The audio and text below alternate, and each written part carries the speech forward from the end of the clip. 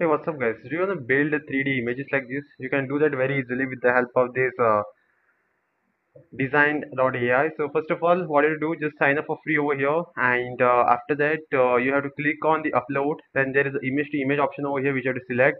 After that, just uh, check on this face mesh option and upload the image over here and click on generate. Okay, so it will generate these images like this for you, and it is absolutely free and you can do give it a try and it will create a 2d image into 3d image and it's really look awesome. So whichever one you like you can just directly go and download it. Thanks for watching